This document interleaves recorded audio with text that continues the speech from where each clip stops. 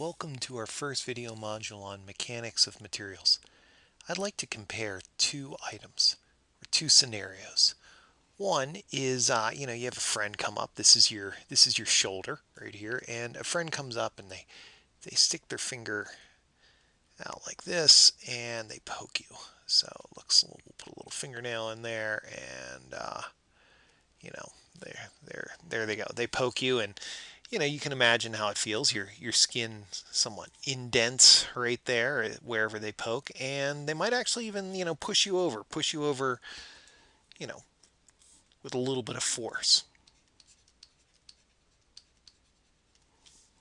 The second scenario is a little bit more annoying, and that's if you go in to get a uh, to get a shot. Go in, doctor, the nurse, they have their syringe and they're going to push that into you. And your skin really like doesn't do much. What ends up happening is that needle just goes right inside.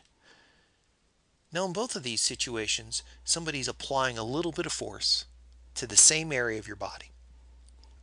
But the responses you feel are really different. Somebody pokes you and you're like hey how you doing? Maybe you topple over a little bit. Or over here somebody gives you a shot and you go ouch Today, we're going to look at the concept of stress. So at the core, what's the difference between the two? So let's revisit our scenario that we set up. We know that whether or not somebody pokes you or pushes you with a needle, the force that they apply, the, the resistance that you push back could be basically the same. We also know that it's not the momentum. If they somebody comes along with you and pokes you quickly with lots of you know velocity and lots of mass behind them, and somebody does the same thing with the needle, it's still going to be very different. So the difference is not momentum, and we know the difference is also not energy. In both cases, you know, it's not the amount of energy. Well, what is the difference? The difference in these cases is the amount of area that it's distributed across. We call this stress, not the stress that you feel when you have an exam coming up, but rather stress is the force per unit area. An easy way that you can actually feel this is if you go ahead and stand up. You can feel on your left and your right foot basically the same uh, weight is on both of those feet. Now shift your weight to your right foot and you'll feel the pressure on your foot increases. You, it feels like you're pulling more with that foot. And in that case, we have the same force, same weight, but we've cut the area in half. Let's go ahead and write this the way we would if we were an engineer. We're going to imagine that we have some sort of material coming like this. We'll say a block of wood or a block of metal or something like that. And it's, uh, we'll make it rectangular just because. And uh, and what we're going to do is we're going to apply some force, right, like this. We're going to try and pull the thing. And we'll say we're going to pull it with some force F.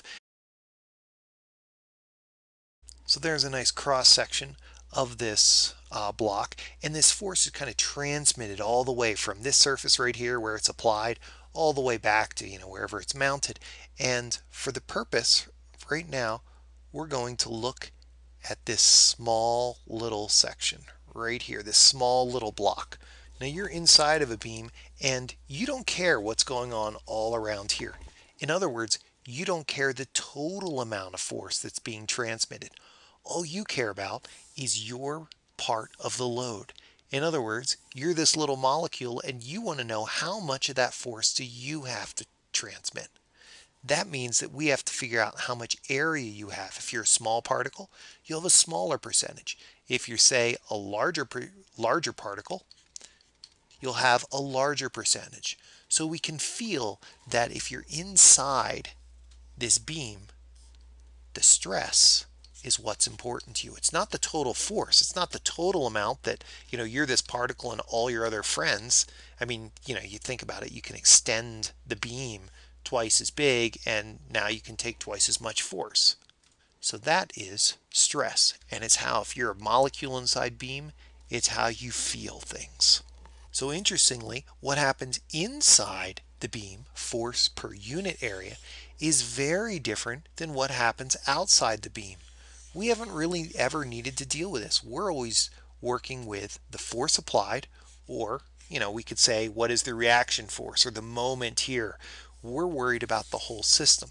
When we deal with the whole system, we care very much about force. If we're just looking at what's going on inside, we look at stress. So in our original question, up here, poke and a shot, the difference is this area. We make that area really small. Take a look at what happens to the stress. We're making the denominator really big, so the stress goes way up. And in fact, this is what your skin feels. It feels stress, not force. So that's why if somebody pokes you, it's no big deal. You have that force distributed over a large area, so you have a small stress. And why a shot is not so happy because it's distributed over a small area, so you have a high stress. I hope this gives you a basic working knowledge of stress and an intuition of how it functions in the real world.